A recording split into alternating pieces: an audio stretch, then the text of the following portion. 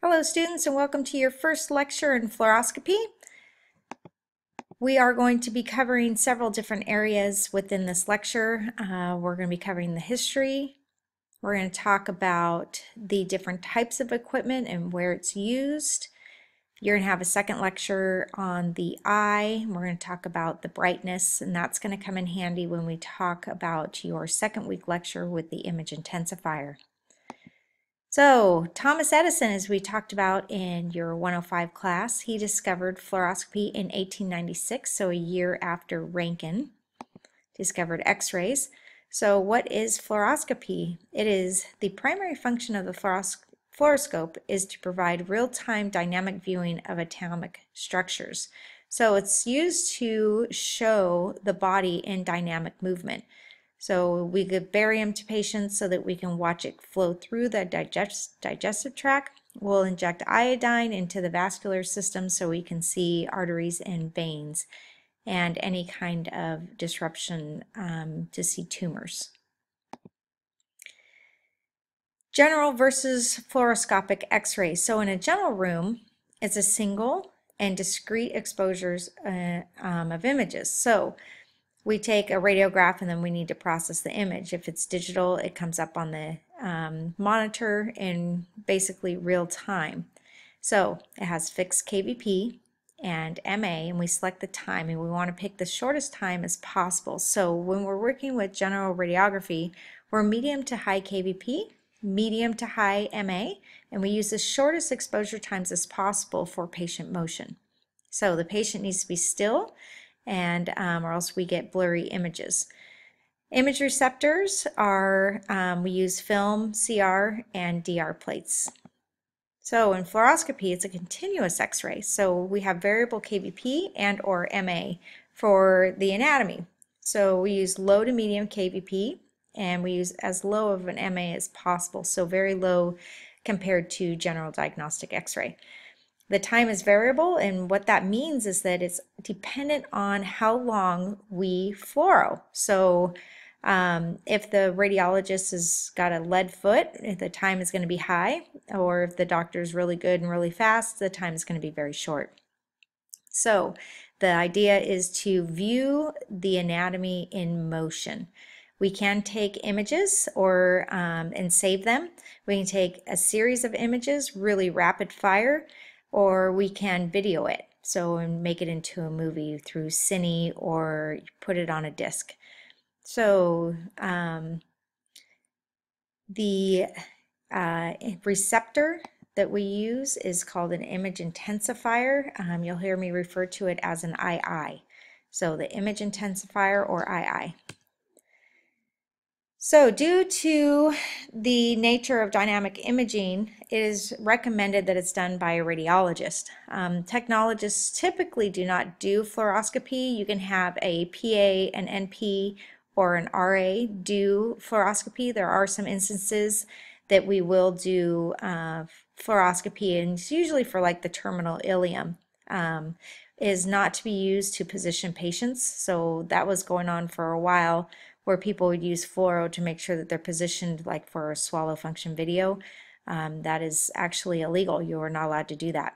So um, you're there to assist the doctor and help them position the patient, give the barium or the contrast as they request, and um, you're mainly there for the patient and to do um, follow-up images for the radiologist. So here's an example of a terminal ileum spot film that um, a technologist would be asked to do. So um, we're going to go deeper into this in further lectures down the road. I think it's um, three or four, week three or four. So image capture and fluoroscopy, we can use a spot film and that's just a permanent fixed image taken during fluoroscopy. It's just an x-ray there's um, usually a small lag between going from fluoroscopy to the x-ray tube taking an image. So when the doctor actually is fluoroing and then he hits the trigger to take an image, it takes a couple seconds. So there's a lag there with the spot film. With Cine, um, it records the fluoro images like a movie.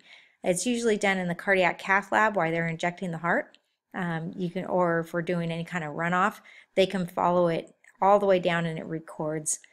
There's video imaging, so recording of the digital image, which is digitized video signal and stores in the computer. So um, we really use that a lot in digital fluoro. So next is the digital fluoro. So digital X-ray imaging systems that produce a series of dynamic images with the use of an X-ray beam and an image intensifier. So that's um, digital fluoroscopy, which we'll cover after we cover just the regular um, conventional fluoroscopy.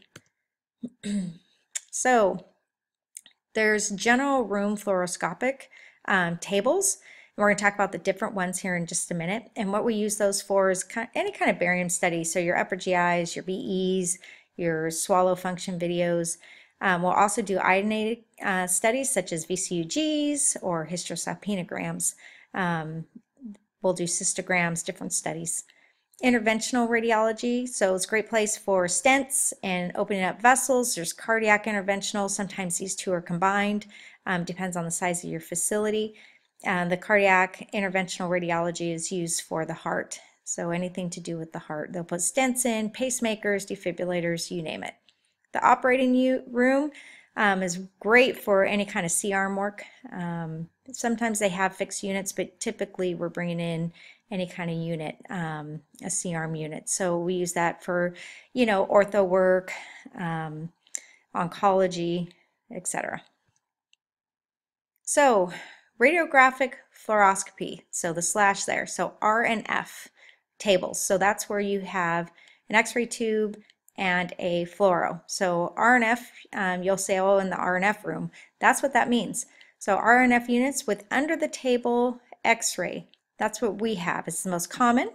And the tube and the collimator are mounted below the table, which is great because it provides safety. So the table, being metal, um, will absorb the x-rays and help provide a natural shield there for you. Imaging um, intensifier, or the II, is mounted above the table and it is used, it usually has a drive on it where the uh, doctor can drive the table and see the body. Uh, there's an overhead tube that can be used for general x-ray with a bucky that's within the table. When you're using these tables, it's very important that you move the bucky um, all the way down to the end of the table or else it'll be in your images. So it has a floating tube that's not part of the fluoro system. So the table um, also tilts, which is great, and it has obviously some kind of recording device. So here's a picture. This is just like our room. So you can see here there's the x-ray that's under the table. This is the II or the image intensifier and there's a free floating tube. So this is the general layout here. You have a generator, you have the x-ray tube, the collimator, and the filtration. You have a usually a carbon fiber table or some kind of radiolucent table. The patient, here's your II, your image intensifier, you have your uh, video camera, so your optical coupling with your video camera or CCD, which we'll talk about later, which goes to the monitor for you and the radiologist to see. So here is an over-the-table unit. So the x-ray tube is mounted over the table. The II is within the table. Um, very hard to shield with any kind of drape or anything. Um, pretty high exposure on these, so be careful and you can angle the tube on these. So as you can see here, you have the tube up top and the II is here down below. This is fairly common also. Very important that you bring in a portable shield with these. We're going to learn about why later. So here's the two different systems. There's the over the couch and under the couch. So this is what we have in our lab. So there's a fixed C-arm positioners. Um, they move in all directions. They're floor ceiling mounted. They're floating tabletops for easy movement of the patient. Um, we can also move the C-arm so that it's easier for the doctor um, without moving the patient all the time. So here's a typical unit. This is uh, ceiling mounted, you can see here, and this is the C-arm here in the table slides and the C-arm slides. So there's a biplane unit, which is great for any kind of neuro um, work. It's uh, You can see two projections at the same time, which is pretty cool. Uh, it's great for pediatrics and the reduction of contrast. So um, one is floor mounted and one is ceiling mounted. You can use one or the other and you can even use both at the same time. To speed up the studies. So this is a biplane system. You can see the ceiling mounted part and the floor mounted part.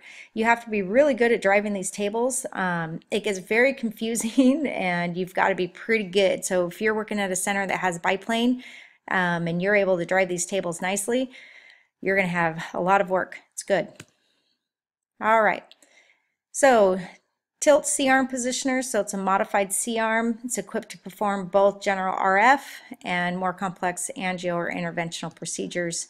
And you can see here, um, we had one of these at Mission when I worked there, and we did all of our LPs and uh, arthrograms on this table. It was nice because it angled, um, instead of having the whole unit angle, the tube will angle, which helped a lot when you're trying to get in on an LP. So this is a fairly common room. So there's mobile C-arms. We all have seen these. So provide imaging for orthopedic and vascular work, um, placement of devices and feeding tubes. Um, they're great for angiographic or interventional. Nice compact design.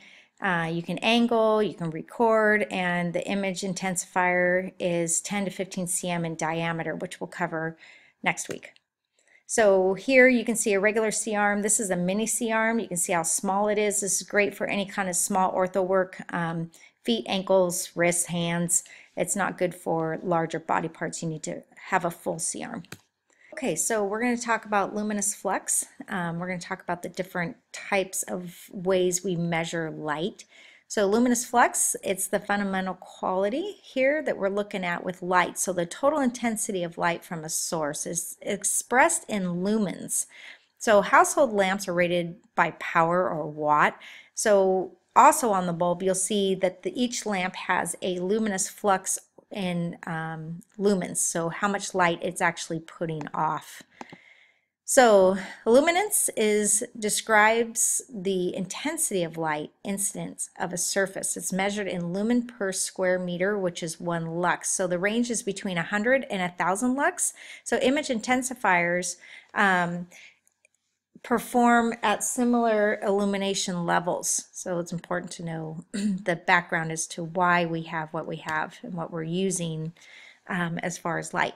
So luminance intensity so the intensity is the luminous flux that is emitted in, in, into the entire viewing area. So it's measured in lumens per, per candela. So we actually call it candela is how we're going to be measuring. So the property um, of the source of light when we're looking at um, a view box or a digital display. We're going to talk about the luminance intensity, and I believe you guys did a lab on that with the view boxes.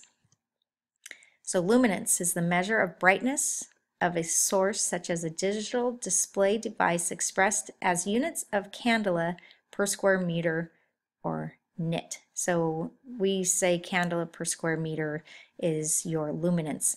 The quality is similar to luminance intensity, so that's how bright the light is also, so it's very similar. Okay, so I'm going to stop here and we'll cover the human eye and the doses in the next video.